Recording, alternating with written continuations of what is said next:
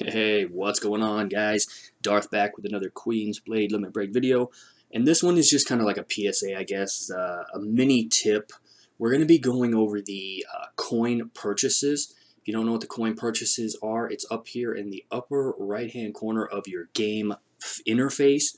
It is a place where you can go into and purchase varying amounts of gold. Now, gold is very important in this game maybe not necessarily to players like myself or you know veteran players because we we have quite a bit of gold and we've uh, we've kept up on spending our gold throughout the game. But believe it or not gold is very very necessary uh, especially if you have 12 star warriors. It costs so much gold and XP uh, to upgrade that. Uh, gold is really necessary. If I was to fuse a lot of this gear here, it costs a lot of gear, uh, money. Uh, jewels splicing, uh, fusing, sorry, and runes fusing. Gold is just all around necessary. You absolutely need it, and you may find yourself short on it at, at times, as well as XP and other resources.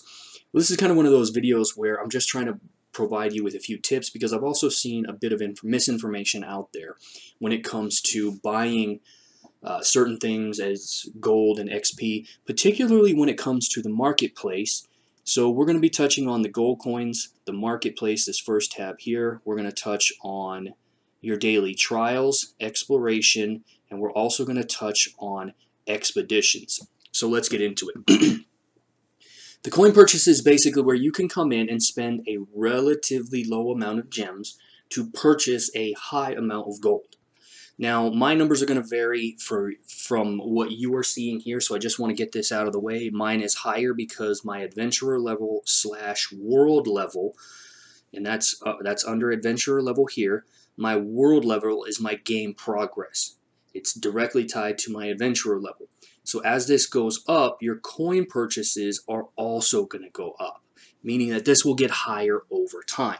Now, you can purchase three of the 20 gems and three of the 50 gems, and these are this is something you should be coming in every day and doing it. It resets three times a day, so first thing you need to do is get used to the fact that it is Japanese time uh, midnight there, noon, and 5 p.m. So I've gotten mine down, and I get up early enough in the morning that I can hit one just before reset and then do it again after reset. All in all, if I bought this, this is about, let's see, 7.1 million gold several times a day. That's nothing to scoff at. I've been over a billion gold many times, but then I keep using it on leveling up my warriors. So that's how important it is you should be buying all three of these. Okay. Now the interesting thing to note about this is that you can actually get twice to three times as much gold. In the tooltip, it actually says that uh, players may get lots of extra coins when triggering big success. All that means is that when you buy this, generally, if you trigger a crit, it's going to give you double the amount of gold. Now, I don't have a recorded video of it, but I have been on, uh, I have personally seen that I've gotten three times the amount of gold twice. And I've been playing since April. So it's extremely rare. I call it the super crit. Let me know if you guys have actually experienced that super crit because I've, I've said this to a lot of people and they're like, no, it doesn't. Nah, it does. And I'm going to get it on video one of these days. But when you buy these, you can chances are you're only going to double up on your gold. So let's yeah, there it is right there. I got 1.3 million instead of 652,000. That is the power of the coin purchases. All right. And we didn't get any more. So that's the coin purchases. So what are you going to do with your gold? What you're going to do with the gold is you're going to recycle it. And you're going to use the market and the ruins to do it. So let's cover the market first because this is where false information comes out. New players have often been told, and I've seen it, that they should come in here and buy all the XP available. That is incorrect. That is a mistake, and it is an inefficient use of your gems. It's a loss. It's a net loss. The game does give you a lot of gems. I'm going to show you a, uh, a way to kind of recycle your gems here in a second, but look at my screen right now. You can spend 300 gems for 300k XP, or you can spend 1.5 million for 300k XP. You should always recycle your gold right here. You're going to have five refreshes I'm not going to say per day because each refresh charge actually recharges every two hours. So throughout the day, you need to come into your shop and you need to use your charges. One of the things you want to buy is the XP here. That's going to help you supercharge your XP. Never buy these 300s. The same goes for these shards, these warrior shards right here. See, we just got it. There's going to say 600 for 30 purple shards. Purple shard leads to fusion and fodder material. This is a mistake as well because what happens is it's going to offer you varying degrees of purple shards for 1.5 to 1.8 million gold. See if we can't see that. Nope, we got another gold. No. So, avoid using gems to buy here because it's not a deal despite the fact that it says 50% off.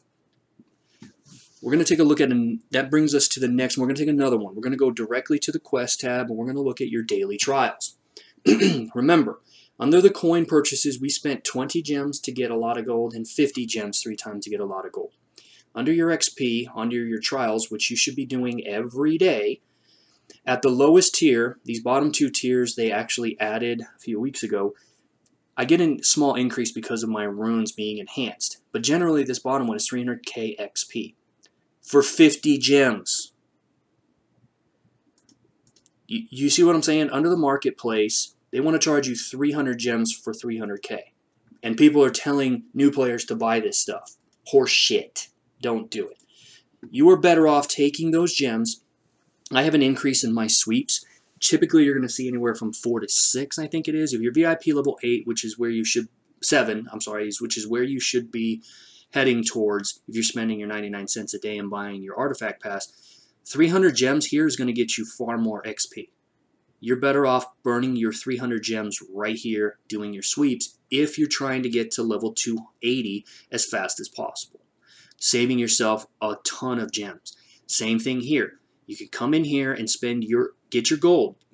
Do your sweeps, get your gold and recycle it in the marketplace right here. Getting warrior shards, challenge tickets, and XP. Now, some the next question that some people are going to be saying is, is well, what about gems? Aren't I going to run out of gems? The game throws a lot of gems at you, but I want to show you under the Adventurer tab, when you're doing your battle, like I got 139 gems just for doing my idle battle rewards, but look at my expeditions. 60, 60, 60, 120, 120, 60. If you're not doing your expeditions, guys, you're not you're missing out on a ton of gems and uh, other rewards that are going to be beneficial for you.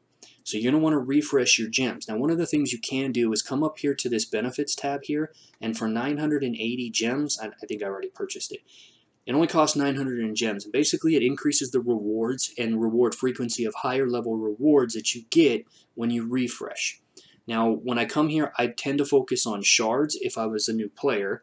Shards and gems. I now tend to focus on gems and runestones when it refreshes. But it's basically feeding you free gems to go into your coin purchases that you're going to in turn go in here, use your refreshes to buy XP. You're going to buy shards. When what I mean by shards is these three right here because these three will always be featured. They're going to help you fuse warriors as well as these other shards. Then you're going to go into your daily trials and you're going to get your XP and your gold. Runestones is probably one of the most important things that you can get over the long term as well, but that depends on the type of gems. You got to learn to pivot. I don't buy these warrior shards anymore because I just don't need them. Anyways, guys, that's just a few tips on the coin purchases and how to recycle your gold and spend your gems efficiently when it comes to obtaining extra XP in the trials and marketplace. Let me know what you thought in the tip in the comment section. If you can, please take the time to subscribe as well. I'm trying to reach certain uh, milestones on followers. You don't have to turn on notifications, anything like that, but if you subscribe, it helps me out a lot. See you in the next one, guys. Thanks.